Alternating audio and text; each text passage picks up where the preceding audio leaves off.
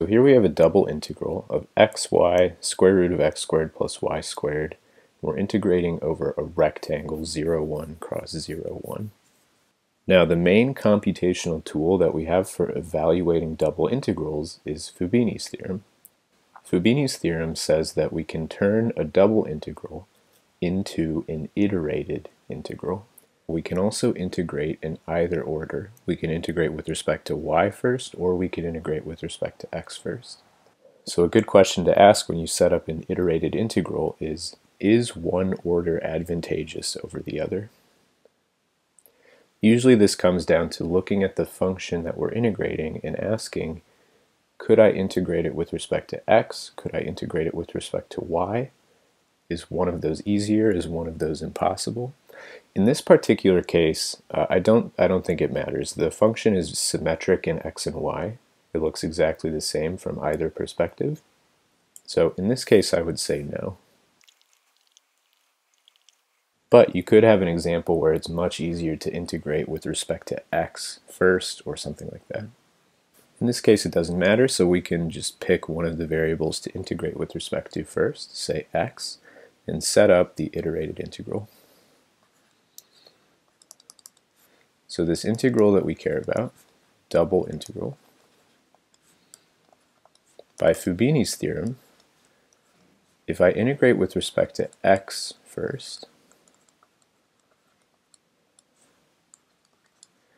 my x bounds are 0 to 1. Both bounds are 0 to 1, but in particular the x bounds are from 0 to 1, and then we'll integrate with respect to y second also from 0 to 1. This is now an iterated integral, and completing this problem is just a matter of evaluating each single variable integral from the inside out. Okay, so to do that, we start on the inside, pretend that y is constant, and integrate this just with respect to x. Let me call this I1.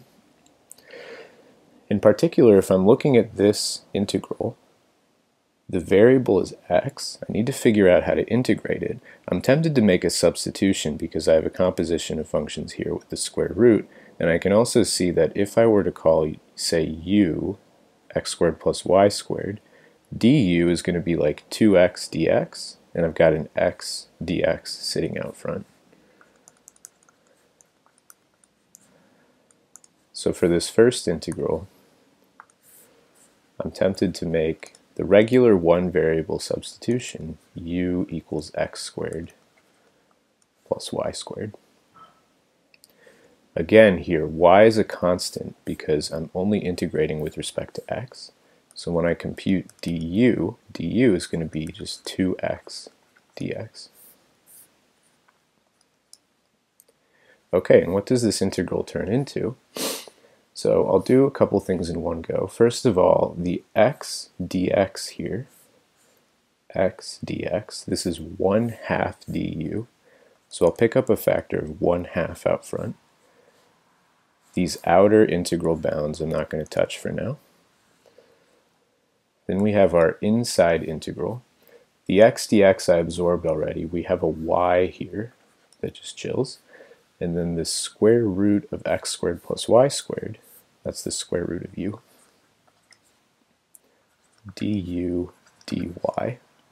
And then the new bounds for the u integral, when x is 0, this is the lower bound here, u is y squared.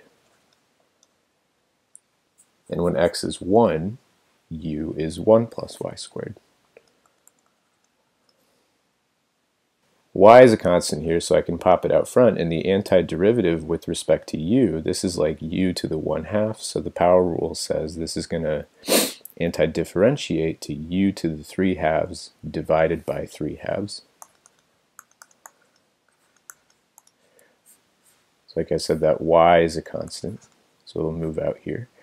Antiderivative is going to be u to the 3 halves over 3 halves. And then I'm evaluating that at my bounds, which are up top 1 plus y squared and y squared down below.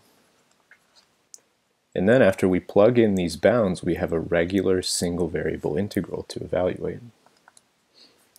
So let's see, 1 half divided by 3 halves is like 1 half times 2 thirds, which is a third. And then what do we get inside the integrand here? We still have this y.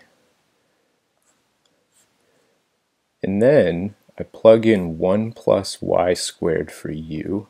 That'll give me 1 plus y squared quantity to the 3 halves minus plug in y squared for u. We'll get y squared to the 3 halves. And like I mentioned, this is just a regular one variable integral that we just have to figure out how to do. Probably at this point I would break this up into two integrals. I would distribute this y, and I guess distribute the one-third as well. So in the first chunk here we would have a y times 1 plus y squared to the 3 halves dy. I'll split that up. And then minus one third times the integral of here, I've got a y squared to the 3 halves. That's y cubed. And then when I distribute this y, I'll have a y times y cubed, which is a y to the fourth. This second integral is very easy to do. The only thing we have to worry about now is this first one, which looks a little scarier, but it's not so bad because here we have another obvious composition of functions to which we could apply a substitution. So let me call this I2.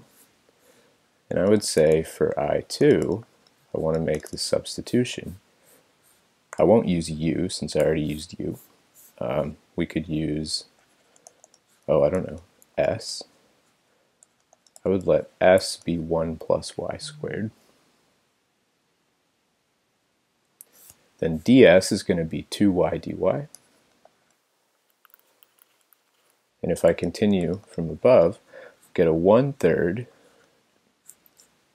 y dy, y dy is 1 half ds. So I'll pick up another copy of 1 half out front. And then I've got s to the 3 halves. Then the new bounds, when y is 0, s is 1. And when y is 1, s is 1 plus 1, which is 2. So that one looks easy to do from here, and then this other one we can evaluate very straightforwardly. y to the fourth, the antiderivative there is going to be y to the fifth over 5. Plug in 1 and 0, and we're in the home stretch.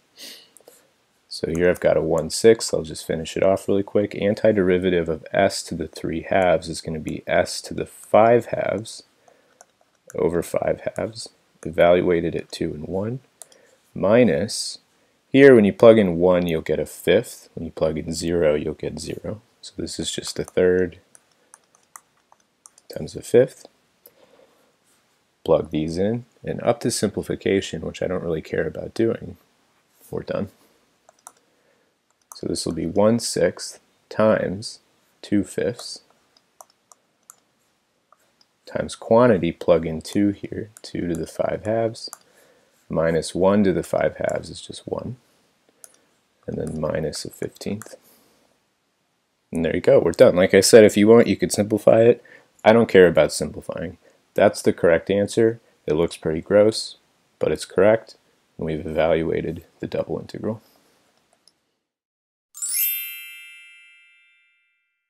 This next example is to evaluate an iterated integral from 0 to 1 and y to 1 of sine of x squared dx dy. What's the point here? We could conceivably try to evaluate the integral as written. In other words, we could try to integrate with respect to x first, get something, and then integrate that with respect to y, and then we'd be done. The main problem here is that integrating sine of x squared with respect to x is very difficult. And you're welcome to try finding the antiderivative here, but you won't have much success. So what do we do? We use Fubini to change the order of integration and integrate with respect to y first. Now we have to be careful because the inner bounds with respect to x are variable bounds. They depend on y. So the thing that you cannot do is just literally switch the order. If we just literally switch the order, we would get something like this. This iterated integral is completely incorrect and doesn't even make sense. You can think about this in a couple different ways, but if this were to actually make sense, your final answer would be in terms of y. That doesn't really make sense at all. This iterated integral is a number. It's like 5 or something like that. So we can't have a final answer which depends on y, which is what would happen here. In any case, doing this is completely incorrect. And this is the thing that we have to avoid. So if we can't do that, what are we supposed to do?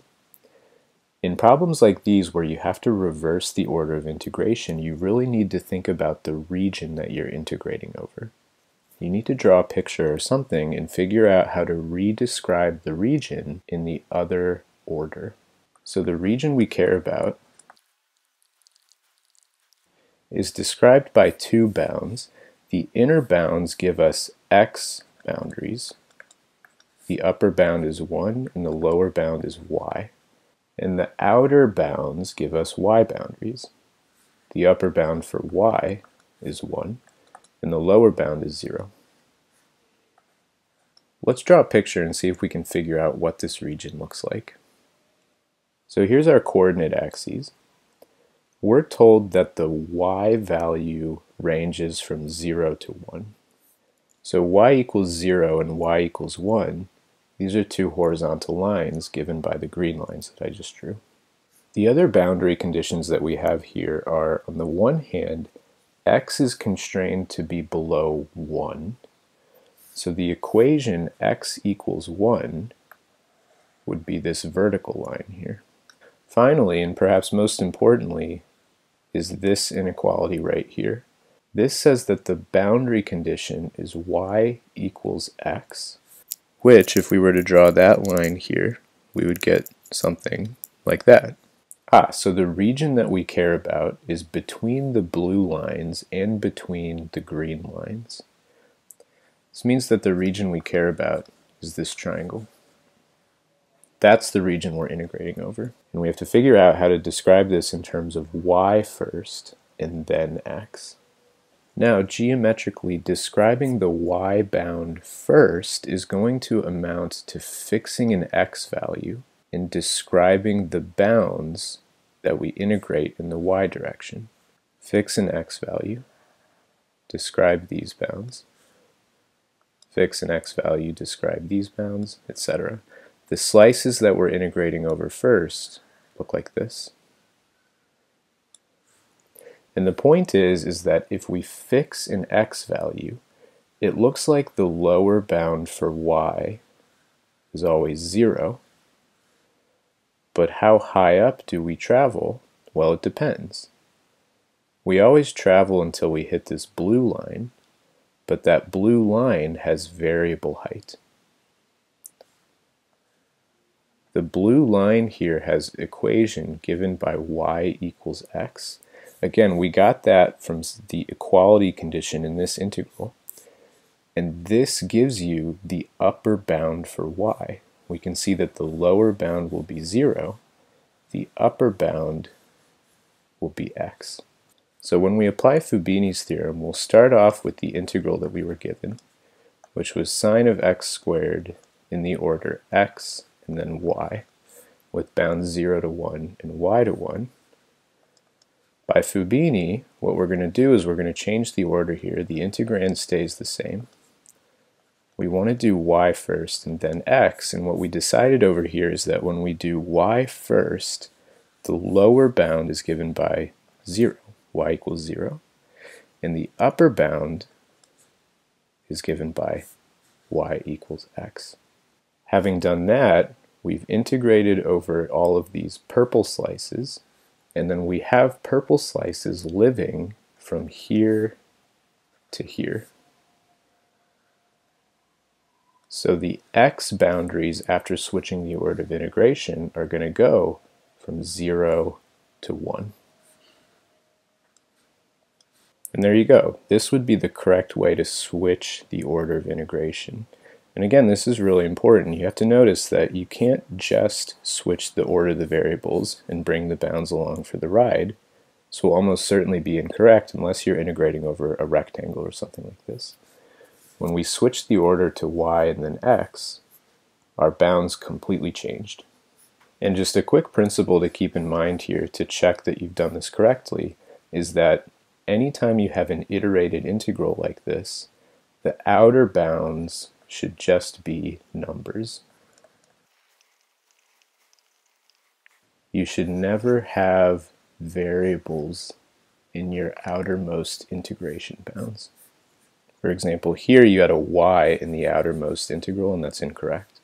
So a simple sanity check to run when you do this is if you've done things correctly, you should end up with just numbers on the outside. Okay, so now we've done the hard work. We've switched the order correctly. From here, this is just a matter of evaluating the iterated integral like we've been doing. So, let's get started. Having changed the order, the inside integral is trivial to do. We're integrating with respect to y, which means x is a constant, so this expression here is one big constant. And when we integrate with respect to y, we'll just get y times that constant.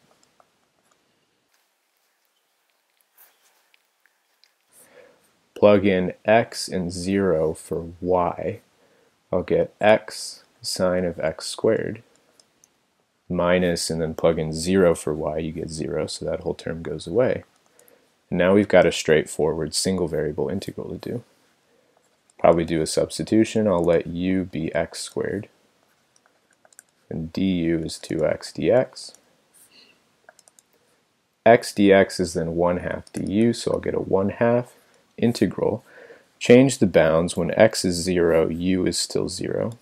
When x is 1, u is still 1, so the bounds actually remain the same.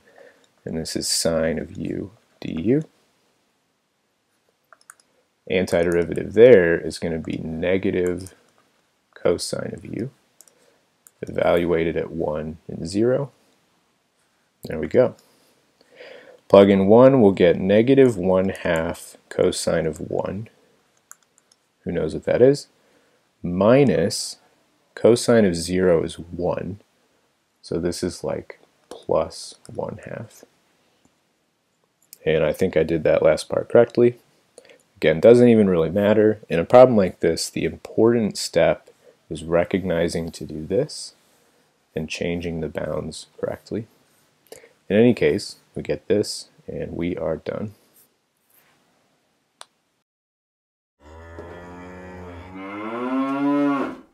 Want to set up two different iterated integral expressions to get the area of this region here. So let me call this region E. Now we know that the area we want to compute is going to be the double integral of 1 over the region E dA. What we want to do is we want to take this double integral and turn it into an iterated integral. The problem is that this region here is neither vertically simple or horizontally simple.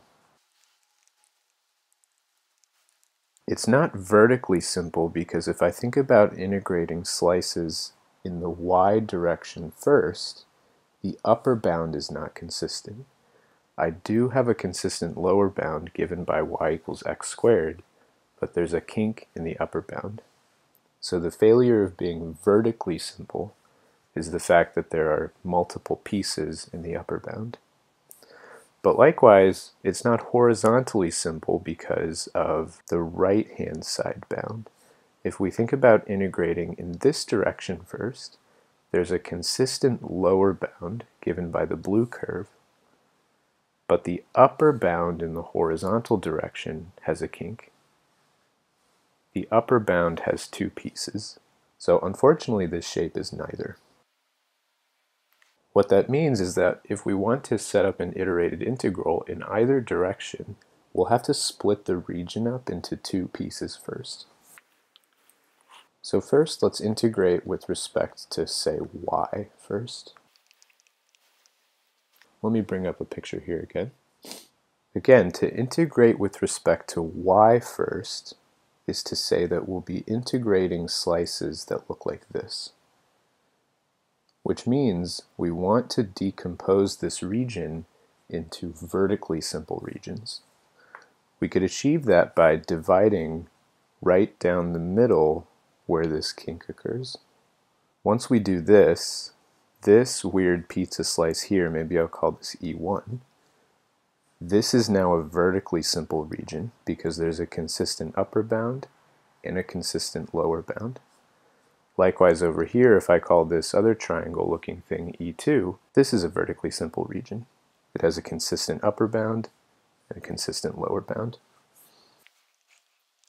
So the double integral that we care about, we could split up over two regions. This is going to be the double integral over E1 of 1 dA plus the double integral over E2. And we have two different integrals to work with. So let's work with E1. We decided that we want to integrate with respect to y first. So I'll set this up as dy dx. In E1, I fix an arbitrary x value, and then I ask what are the bounds in the y direction. Well, I start at the red curve and end at the blue curve. So the lower bound here, y in terms of x is given by x squared. The lower bound will be x squared. And the upper bound given by the blue curve is going to be 4x. And then we've integrated with respect to y, so I don't care about that direction anymore, and I can squash it out. To get the correct x bounds, I squash the picture and I only look at the resulting interval in the x direction, which is going to be from here to wherever this intersection point is, right here. The lower bound, it looks like, is 0. 4x and x squared definitely intersect at 0. And then we just have to figure out where this intersection point is. This happens when the blue curve, which is 4x, equals this brown curve, which is 2 minus x. Solving for x, it looks like 5x should be 2, so x is 2 fifths. And there's the upper bound in the x direction. There you go. So this is an iterated integral, which gives the area of E1. Then we do the exact same thing for E2, and then we're done. So I integrate with respect to y first. For E2, the lower bound for a fixed x value is x squared again. But this time the upper bound is given by the brown curve, which is 2 minus x. And then again, we've integrated in the y direction. So I squash out the y direction, and I just get this interval. I begin at this intersection point that we found earlier. So the lowest x value that we're integrating here is 2 fifths. And then when we squash this region onto the x-axis, I'll drop down to here, Visually, it looks like this intersection point is 1, but we can check really quickly. This will happen when 2 minus x equals x squared. And by inspection, if I plug in x equals 1, this checks out. I get 1 equals 2 minus 1 is 1. So the upper bound here is x equals 1. Oh. That is one iterated integral expression, which gives the area of this region E. And again, we approach this by integrating with respect to y first, which means we want vertically simple regions. So we had to chop it up in the middle like this. What if we want to integrate with respect to x first, though? This is going to be really similar, except now we want to decompose the region into horizontally simple regions, because we'll be integrating like this first. To decompose this into two horizontally simple regions, it looks like we need to chop it in this direction at the kink given by this intersection point. So here I'll call E1 this top triangle, and I'll call E2 this bottom piece. So the area that we care about is again going to be the area of each piece added together. And then we want to set each of these up as an iterated integral, integrating with respect to x first. So let's do that with E1. This time I've got a dx dy. To integrate with respect to x first is to fix a y value and determine the x bounds. Well, it looks like the lower x bound is given by the blue curve. The equation of the blue curve is y equals 4x, but to get a bound for x, we need to solve this as x in terms of y. So the blue equation is the same thing as x equals y over 4. That's going to be our lower bound. Same thing with the upper bound. The upper bound for E1 is given by this brown curve, which has equation y equals 2 minus x. If I solve for x, this is the same thing as x equals 2 minus y. And here's our upper bound in the x direction. To get the y bounds, we've integrated with respect to x, so I can squash the x direction away and project this E1 region onto the y-axis. And when we do that, we would have an interval from here to here. This interval is going to determine the y bounds. It looks like the lower bound is at 1. Again, we can verify that because the x value here was 1. And if I plug in x equals 1 into, say, this red curve x squared, I get y equals 1 squared which is 1. So this lower bound is indeed 1. And the upper bound here is the corresponding y value of this intersection point. In this part we found that the x value was 2 fifths, so the y value is going to be 4 times 2 fifths, which is 8 fifths. So the upper bound here will be 8 fifths. And there you go, there's an iterated integral which gives the area of E1. We'll do the same thing for E2 and then we're done. So I'm integrating with respect to x first, which means I fix a y value and I look at my x bounds. The lower bound is again still the blue curve. Earlier we figured out that that was y over 4. Now the upper bound is given by the red curve. Again, because we're describing x in terms of y, I need to take the equation for the red curve and solve for x. I get x equals the square root of y, so that's our upper bound. Then again, to get the y bounds, I take the region E2 and I squash it onto the y direction because I've already integrated with respect to x, and we're going to get this interval Earlier we figured that the upper bound here occurs when y equals 1. So I'll put a 1 here. And the lower bound, the intersection of the blue and red curves, occurs at the point 0, 0. So the y value here is 0. And we're done. There's another iterated integral expression which gives the area of this full region, this time integrating with respect to x first.